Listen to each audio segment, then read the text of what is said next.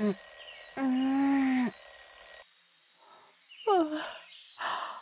もう朝なのね。私の名前はシャルロッテ。今、依頼でとある都市伝説を調べているフリーのジャーナリストだ。その都市伝説というのが、かの有名な如月駅。実体のないまま世間に広がったそれを私は調査するのだ。そうだ、お母さんに連絡連絡。如月駅について調べてくる、と。よし、それじゃあ今日も仕事を頑張りますか。ね、と、ざ、ん、ま、い。ネタ三昧。如月駅とは、如月駅という言葉が広がったのは2004年1月8日の23時過ぎ。はすみという女性がネット掲示板に相談の書き込みを行った時だ。彼女が乗っている電車がいつもと違い、全く停車しないことから奇怪な現象は始まる。5人の乗客は全員寝ており、車掌と運転手に声をかけても返事はない。ついには見覚えのないトンネルを通過してしまう。そして、たどり着いた先が、如月駅という無人駅だったのだ。どこよ、ここ。そこは、蓮見が聞いたことも見たこともない駅。親に電話しても知らないと言われたそうだ。駅周辺は何もなく、草原と山ばかり。時刻はすでに0時を回り、電車もタクシーもない。途方に暮れていた蓮見は、書き込みを続けながら線路沿いを歩いていった。警察に電話したものの、いたずらだと思われ、切られてしまう。そんななすすべもなく、午前3時になった時。な、何？聞こえてくる太鼓と鈴の音。その時、おじいさんを見かけるも、片足がなく、気づけば姿を消していた。不気味さを抱えながらも、恐る恐る歩いていく蓮見。やがて、イサ抜きトンネルに差し掛かり、通り抜けた先には、どうしたんだい？駅まで送ろうか。突如現れた男性。掲示板は、怪しすぎる。乗るなと言っていたが、蓮見が帰るにはそれに乗るしかない。しかし、乗ったのはいいが、なぜか車の進行方向は山。しかも、男は蓮見に対して取り合うことはなく、何か言っても一人ブツブツ言うだけ。携帯のバッテリーが切れる寸前で、蓮見は隙があったら逃げ出すと書き込みを行い、そのまま姿を消した、と。帰ってきた蓮見。蓮見は書き込みをずっと事細かに行っていた。なのに、存在が消えたかのように、ぱったりと途絶えた書き込み。それにネット民が大騒ぎし、如月駅の実態を追うようになったのだ。だが、如月駅の情報は何も集まらない。そして時が経ち、霞が消えて7年後の2011年。なんと、霞と名乗る者が戻ってきたと書き込みを行ったのだ。霞はその時のことを事細かに説明。最後の書き込みの後、男が突如車を停車すると、暗い森の奥から光が見えたらしい。それと同時にまた別の男が登場。その瞬間、辺り一面が光り、車に衝撃が走った。そして、運転手は消えていた。な、何が起こったの？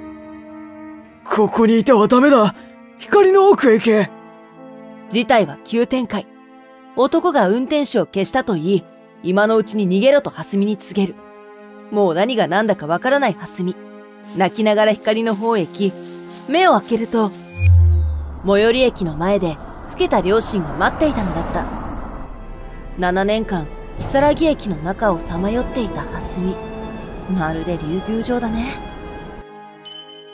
目撃談。その書き込み以降、ネットはまた、如月駅で熱中した。すると、蓮見以外にも、如月駅にたどり着いた者が現れたのだ。ここが始まりの場所、新浜松駅。蓮見が乗車して消えたのがこの駅。実はここでもう一人消えたのだ。その人が消えたのは2014年12月22日。蓮見と同様に長いトンネルをくぐり、鈴の音も聞いていたそうだ。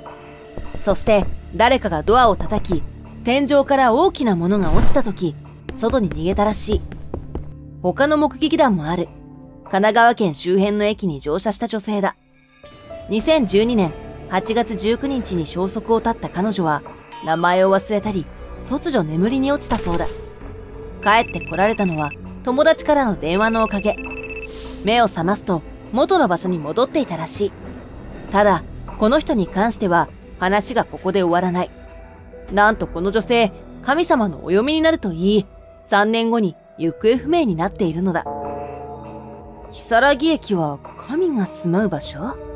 伊佐館だって黄泉の国のイザナギに似ているし、まだまだ調査が必要ね。異世界の如月駅。その後私は、如月駅は異界関係だと仮定。より正体に近そうな目撃談のところへ向かった。一つは福岡県。ここで久留米に向かっていた乗客が如月駅を通過したという。その際、他の体験談と同様に他の乗客は熟睡。しかし、目撃者は起き続け、如月駅の間に闇駅と片須駅があったと語っている。闇は読み、片須は古事記の異界、根の片須国に類似するわね。次に私は島根へ。ここで起きた如月駅目撃者の女性は、黄昏駅と根の国駅というのを見たらしい。黄昏は、大間が時で妖怪が出る場所。根の国が根の国なのだとしたら、やはり異界説が有力のようね。最後の取材場所はアメリカ。そう、如月駅は海外にまであるのだ。そこでの体験談は電車じゃなくバスだったが状況は同じ。留学生の日本人女性がルームメイト2人と帰宅中、突如眠気に襲われると急に霧が出てきたそうだ。日本人留学生だけ起きていたが、バスはいつまで経っても停車しない。停車したのは一人だけ立っているバス停の時のみ。だが、運転手は扉を開けることはなく、その人も乗ろうとはしない。その後、彼女が知った話はこうだ。何でも、そういう駅に行くことは幾度かあり、そこで乗り降りしたら帰ってこれないのだという。下手をしたら、彼女は帰ってこれなかったのかもしれないわね。真相。さーてと、まあ、調査はこんなものかな。体験談が事実だとしても、私自身が体験しないと本当とは言えないか。さ、帰るとしよう。お母さんに迎えに来てもらおう。といきなり県外？どういうこと？時計もおかしいわ。も、もしもし？は、もしもし？そろそろ時間だと思ってね。言っておくけど、これは2011年から毎年やってることだから。ぶっちゃけ面倒なんだけど、また忘れさせないといけないからさ。まあ気にしないで。こっちの世界には私がいるから大丈夫だよ。この声は、私？その時、私は思い出した。そうだ、私はあの時変なところで降りて、降りた場所は、如月駅？私、ずっとこの世界から出られてないの？そういうこと。あなたは私の代わりにそこをずーっとループしているってわけ。まあ、もうすぐ記憶はリセットされるから。ってことで、じゃあね。ちょ、はすみって、私だったの？